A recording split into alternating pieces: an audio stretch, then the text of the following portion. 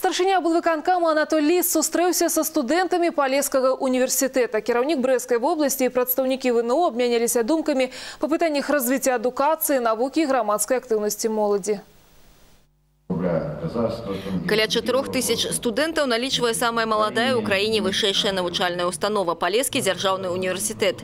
На пяці факультэтах тут рыхтуюць спецыялістаў па 19 спецыяльнасцях. У размове са старшынёй брэскага аблвыканкама студэнты закраналі самыя розныя тэмы. Анатолий Васильевич, какие перспективы развития социально-экономического развития региона? Я имею в виду области. У нас э, на сегодняшний день в Совете министров находится документ значит, о социально-экономическом развитии нашей страны на 16-20 год.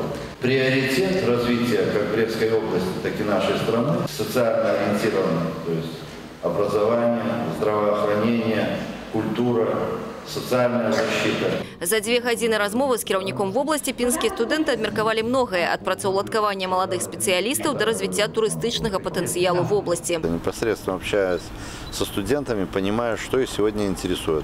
Вот в тех вопросах, которые они задавали, я же понимаю, не просто вот они ради того, чтобы задать вопросы. а Много вопросов было те, которые их интересуют, те, которые сегодня на слуху. Поэтому это для нас, для руководства области, значит, очень важно понимать, что сегодня интересует молодежную среду.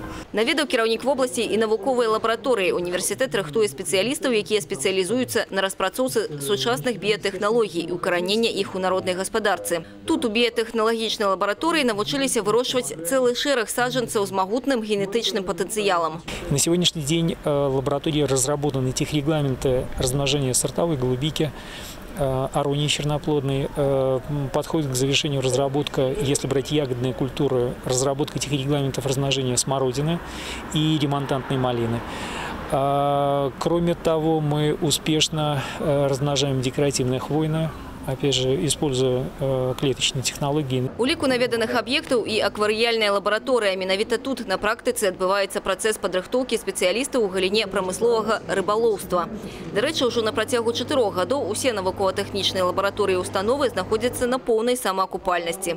Наука должна быть прикладной. Очень правильно, что вот сегодня мне показали те результаты, которые есть в Полесском университете. Это касается, касается и леса, касается сельского хозяйства. Поэтому правильное направление, и мы будем стремиться помогать и ориентировать наших производителей э, значит, на то, что есть наработки, которые необходимо воплощать в жизнь. Марыя Кобіц, Аліса Грыгарчук, Александр Дзяченко, областные новины, Пинск.